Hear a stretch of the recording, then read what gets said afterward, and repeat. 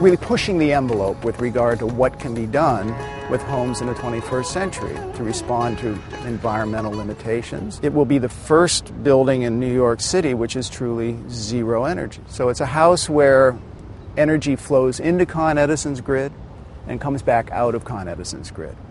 But at the end of the year, the tally is zero. Well, the design inspiration was to make a house of stacked cubes that are shifted to provide outdoor spaces at every level. This is a, a typical New York brownstone site. It's 25 feet wide and 100 feet long. And what we'll do here is we'll construct a base. We'll excavate the earth, we'll make foundations, and the ground floor of the building. And while we're doing that, we'll build the second, third, and fourth floors in the factory. As the ground is complete, a truck will pull up, uh, or several trucks, with the modules. They'll be hoisted by crane over the top of these wires and set in place. That will take about two days.